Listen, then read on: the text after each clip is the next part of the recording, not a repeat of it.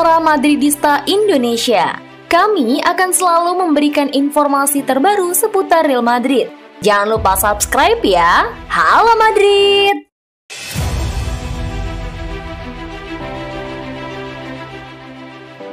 Adidas bantu Real Madrid datangkan Erling Haaland. Asa Real Madrid untuk mendatangkan Erling Haaland berpotensi jadi kenyataan. Adidas dilaporkan siap membantu Los Blancos merekrut sang striker. Haaland bakal jadi properti panas di bursa transfer musim panas nanti. Ini disebabkan klausul rilisnya bakal aktif dan ia bisa diboyong dari Borussia Dortmund. Real Madrid dikabarkan tertarik untuk merekrut Haaland.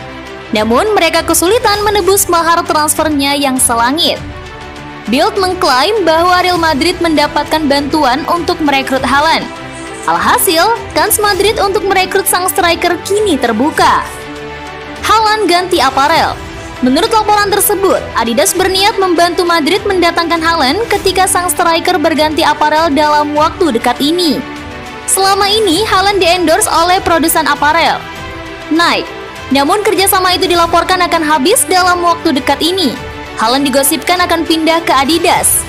Sehingga produsen aparel asal Jerman itu siap membantu Real Madrid mendatangkan sang striker karena kerjasama ini bisa menghadirkan penghasilan yang besar bagi Adidas. Ciptakan duet maut jika Haaland jadi pindah ke Real Madrid, maka El Real akan memiliki lini serang yang sangat mematikan. Di musim panas nanti ada satu penyerang top yang akan bergabung dengan Madrid. Ia adalah Kylian Mbappe. Duet Mbappe dan Haaland ini bakal membuat Real Madrid sulit dihentikan di masa depan Haaland musim ini masih menjadi mesin gol yang mematikan untuk lini serang Dortmund. Ia berhasil mengemas 23 gol dan membuat 6 assist dari total 20 penampilan di seluruh kompetisi.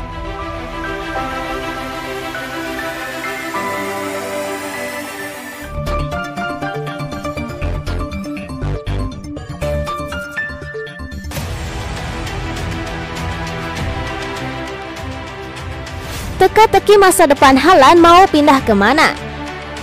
Setiap tim di dunia ingin mengontrak Erling Haaland dengan masa depan striker Borussia Dortmund akan menjadi kisah jendela transfer musim panas. Usia, gaya bermain dan gol Haaland telah membuatnya menjadi target nomor satu untuk klub-klub terbesar Eropa dan klausul pelepasannya sebesar 75 juta euro adalah biaya yang sangat menarik bagi banyak orang.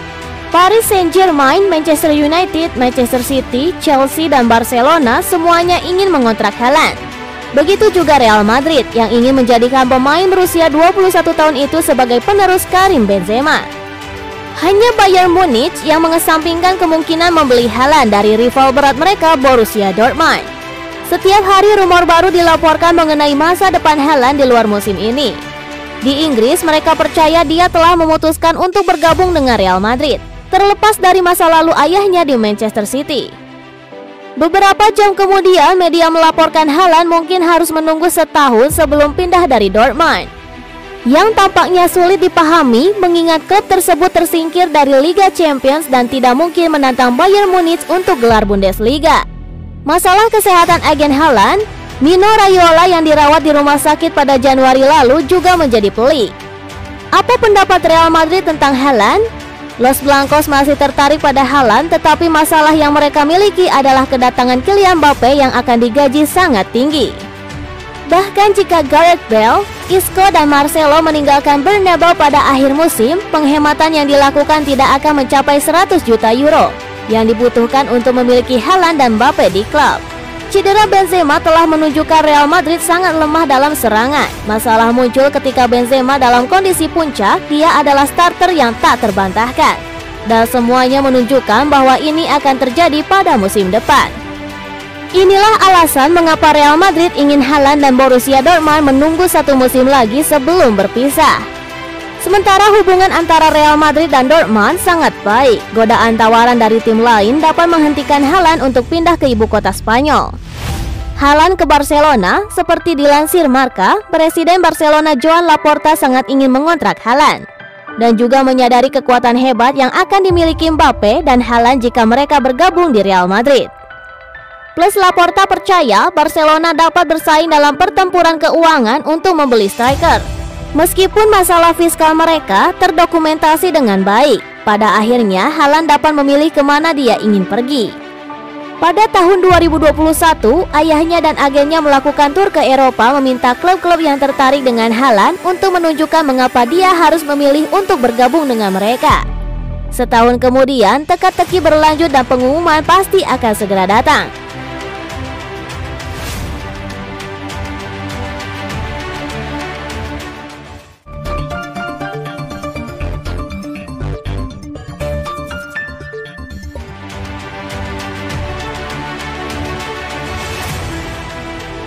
Negosiasi alot pembaruan kontrak Vinicius Junior cemburu dengan gaji Kylian Mbappe. Saya memperlambat pembaruan Vinicius karena permintaan yang mustahil untuk Florentino Perez. Real Madrid telah merencanakan untuk mengumumkan pembaruan Vinicius Junior sebelum Natal tahun lalu. Negosiasi antara Florentino Perez dan perwakilan pemain Brasil itu seperti yang tertera di peta jalan sampai semuanya mengalami kemunduran yang tidak terduga. Gaji yang akan diterima Kylian Mbappe di Real Madrid sampai ke telinga Vinicius dan pemain Brasil itu mengalami serangan kecemburuan yang mengkhawatirkan. Memang benar bahwa kenaikan gaji yang ditawarkan oleh Madrid itu penting. Tetapi dibandingkan dengan apa yang akan dibebankan Mbappe, itu hanya lelucon yang tidak enak. Jadi Vinicius memerintahkan agennya untuk mendinginkan pembicaraan untuk memaksa Florentino Perez menaikkan gaji. Vinicius ingin mengisi sebagai Bape setelah bertahun-tahun menderita di mana dia merasa sebagai pemain yang disalahpahami, yang dituduh kehilangan gol dan mampu memberikan tekanan padanya di saat-saat penting. Vinicius memulai musim dengan sangat baik, menjadi bintang besar di tim bersama Benzema. Semuanya dipuji dan pantas hanya dalam 21 pertandingan liga, pemain Brasil itu telah mencetak 12 gol dan memberikan 6 asis. Jumlah yang harus ditambahkan 3 gol dan 4 asis lagi antara Champions dan Piala Super Spanyol. Vinicius memahami bahwa Real Madrid masa depan harus dipimpin olehnya.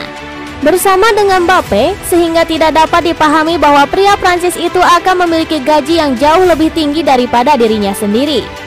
Pemain Brasil itu tidak berniat meninggalkan Madrid karena dia mencintai klub dan merasa dicintai oleh para fansnya. Tapi yang tidak akan dia lakukan adalah berhenti mengklaim apa yang dia anggap adil.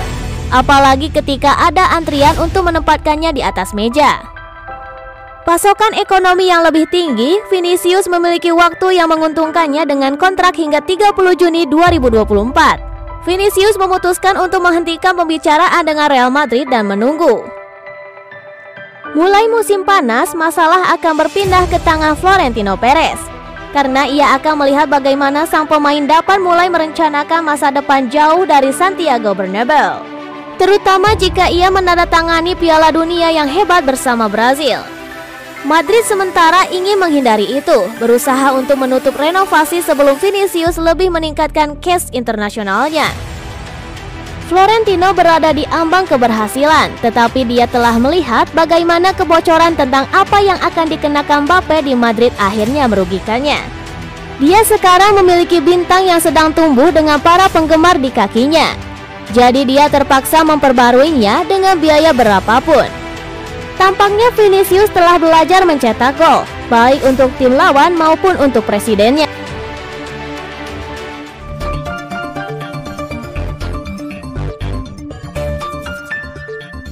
Terima kasih telah menonton video ini sampai akhir. Jika kalian fans Real Madrid, terus dukung channel ini dengan cara like, komen, dan subscribe ya guys. Karena kami akan upload berita terbaru tentang Real Madrid. Bye-bye!